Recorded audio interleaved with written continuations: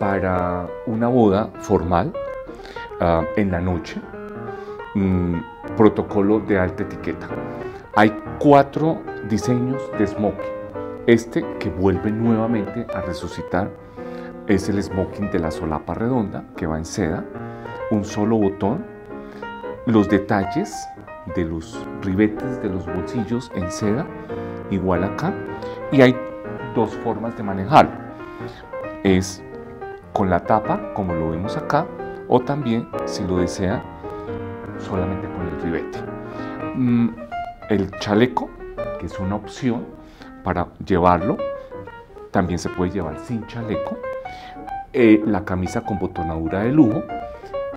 Y hay, dos formas también de poder lucir este diseño de smoking, que es con el corbatín negro o blanco o plateado o la corbata blanca en seda lisa delgada.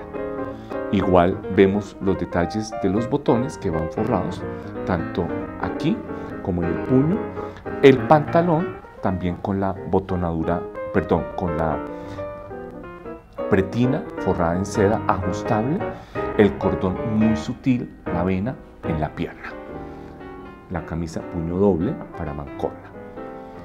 Entonces eh, eh, está solapa redonda o la solapa clásica delgada de un solo botón o la solapa en punta en seda o el smoking que vuelven mucho el cruzado con los detalles en seda. Para bodas de protocolo muy formal en la noche. Y como lo dije anteriormente, mucho el brillo en los trajes. Estas son sedas españolas que son ideales para los smoking.